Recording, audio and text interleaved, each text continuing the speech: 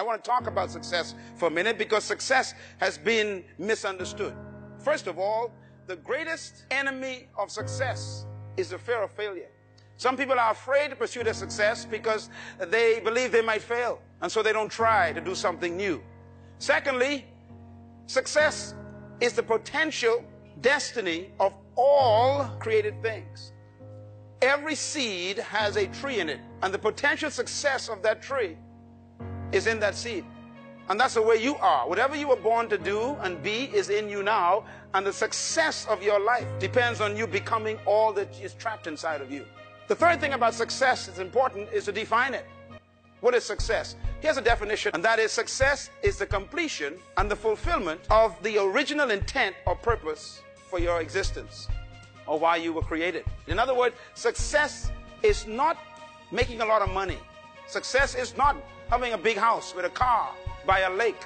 Success is not having a lot of friends and a lot of accolades and a lot of plaques on the wall. Success is really very, very simple. It's you discovering your purpose and then completing it before you die. In other words, success must be measured by why you were created. Success is therefore purpose fulfilled. Success is not measured by what you've done compared to what others have done.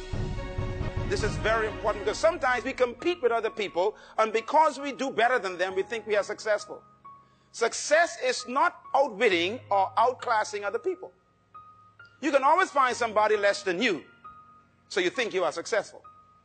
Therefore, success should not be measured by what you've done compared to what others have done.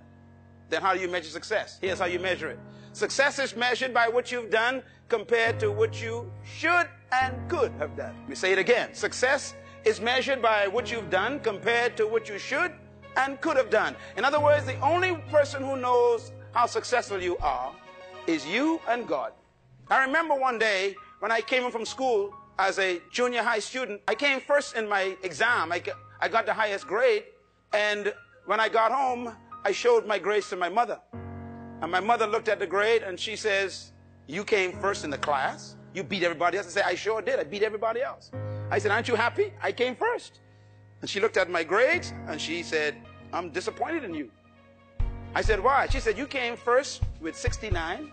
You ain't smart. The other's just dumber. In other words, I was measuring my success against other people. She says, You can do better than this. In other words, she was teaching me a lesson that success not measured by how you compare with other people, but how you compare what you are capable of doing yourself. As a matter of fact, when you read the Bible, the Bible says the race in God's plan is not to the swift. You don't come first because you are ahead. The race is those who what? Endure to end. They finish what they started. That's success. Purpose, therefore, is the key to success. Here's a statement I found. What lies behind us and what lies before us are tiny matters compared to what lies within us. When you look back at the failures of this year, you know some things didn't go right. You know some things you didn't accomplish. Some of you failed in doing some things you really wanted to do. Your goals were not fulfilled. And you can look back and be depressed. But looking behind you doesn't help you for the future. And looking ahead of you can really make you afraid because you look at the uncertainty of whether you will succeed. But I come to tell you that what's important, what's within you now. And God has placed in you everything you need to become all you were born to be. And you are carrying it right now. And therefore, the word of God said it so well. It says, unto him who was able to do exceedingly abundantly above, beyond all you can ever ask or think, according to the power that's working, not in heaven, but he's placed the power inside of you. And that means that whatever you were born to do and become is on the inside of you. Very important to understand that. There's some things God wants done in you, and that's why you shouldn't just go about making plans without spending time with God. Because you ain't smart enough to figure out your future. And God knows your future long before you was created, and therefore He wants you to know His purpose so your plans can be in keeping with His purpose. What a tragedy to be successful in the wrong thing. It's like a bird trapped in an egg if that bird never flies, that bird is a failure. It never made it to flight.